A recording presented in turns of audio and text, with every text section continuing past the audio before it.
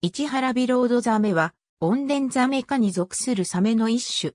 北西太平洋の日本の駿河湾とその周辺海域及び台湾に分布する。中国の台東市からも記録がある。IUCN は保全状況について気球種としている。種商名の市原は東海大学海洋学部元教授の小市原忠義にちなむ。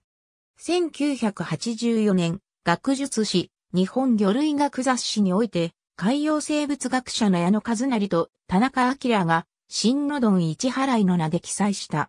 ホロタイプは1983年3月16日に、静岡県の駿河湾、沖津近辺の水深580メートルから得られた、全長101.1センチメートルのオス。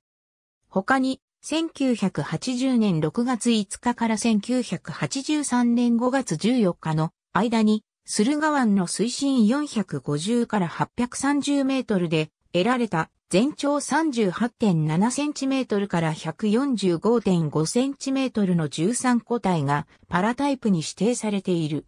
記載された当時、属名のシンノドンはビロードザメ属として扱われていたが、後の研究によってビロードザメ属はビロードザメと本種のみで構成されるザミウスという属名に変更された。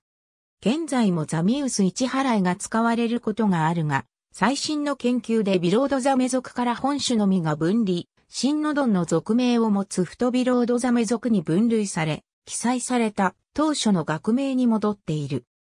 第一、背びれトゲが体長の中央より前方に位置、尾ひれの結骨がはっきりしていること、葉の形が左右非対称であること、制御においては縦鱗の外縁は虚子状か滑らかで、三つ股状ではないこと、腹気と尾ひれの間の距離は、体長の10.2から14.0%であることが特徴。ただし、幼魚の場合、鱗の外縁が三つ股状である。体色は全体的に暗褐色。